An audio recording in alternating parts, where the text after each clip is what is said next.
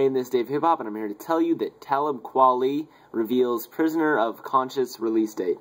Now, I'm not sure how to say his name. I have listened to a couple of songs, and just based on those couple of songs, I have pretty much come to the uh, kind of opinion that this is a really great artist.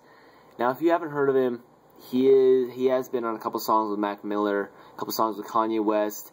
Other than that, I'm not sure. I probably should have done some uh, research on him, but the re the release date for his fifth studio solo LP, Prisoner of Conscious, is set to drop on November 20th, and I'm I'm stoked for this. Even though I have not heard of that many songs by him, I'm going to check out his previous albums, see what's going on, and I will definitely get back to you on this album as soon as it comes out and I will do a review of it. I'm going to get back into the reviews. I'm sorry I haven't made a video in a long time.